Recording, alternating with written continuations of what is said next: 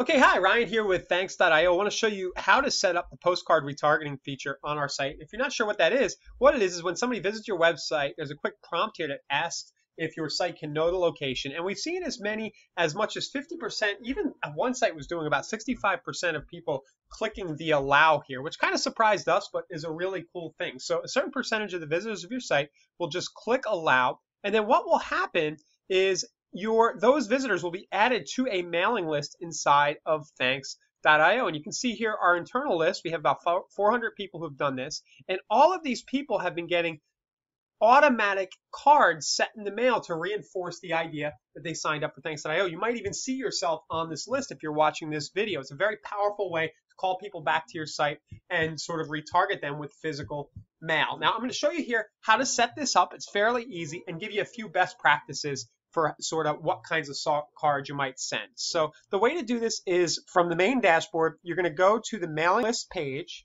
and you're simply going to create a new mailing list. Now, if you want to add somebody to an existing list, you can do that as well. It'll look much the same, but I'm going to click add list and then I'm going to choose retargeting list right here. So let's click on retargeting list.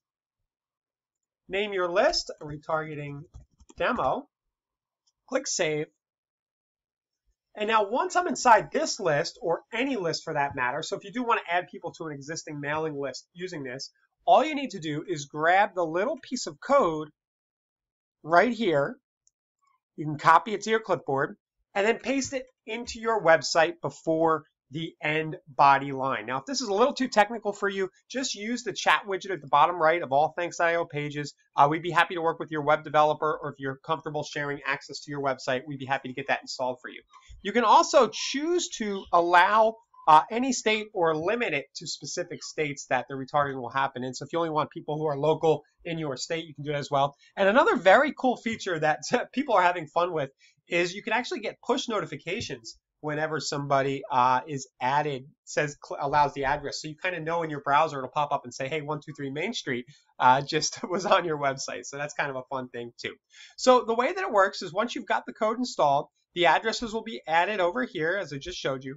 And then any campaigns that you have attached to this mailing list will start sending. So if I want to go down here in into my campaign section, I can then start to dictate what is going to be sent to this list. So I'll click add a new campaign. I'll select my retargeting demo mailing list. And then I'll, I'll pick my message and my image template. I'm going to kind of show you a best practice for that here in a second at the end of this video. But just pick a message and image that you've already pre-created and then set it to go out on a uh, days after added, for example. So we'll say uh, I want a card to go out right away uh, the day after it's added to the list. So we'll click save. And then anytime it's added to that retargeting demo mailing list, anybody added to that will automatically get that postcard in the mail. Now, internally, you might have noticed, you may or may not have noticed, that we're actually sending a few cards, are, and I'll show you kind of what that looks like for our internal thing. It might inspire you and give you an idea of what you can do. So we have these two cards going out. We have one that goes out on day one. Says, thanks for visiting, thanks. And another that goes out on day seven, right? So what we're sending here let me go to my message templates.